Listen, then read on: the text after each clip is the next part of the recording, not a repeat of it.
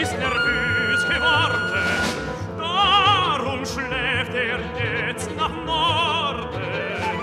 Denn nach Osten, Westen, Süden schlafen heißt das Herz ermüden.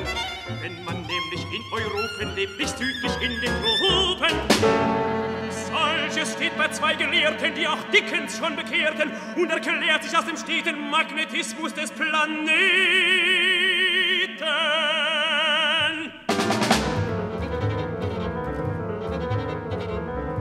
Halmström, also heilt sich wörtlich, nimmt sein Bett und stellt es nördlich und im Traum in einigen Fällen hört er den Polarfuchs bellen.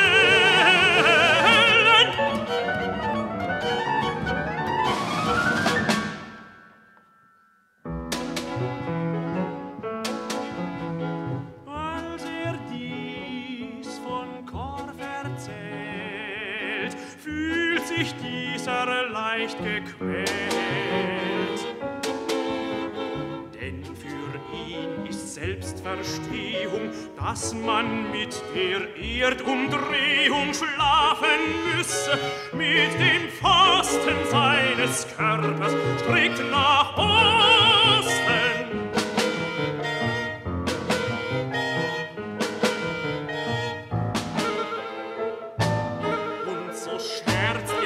Kaustisch, kaustisch köstlich,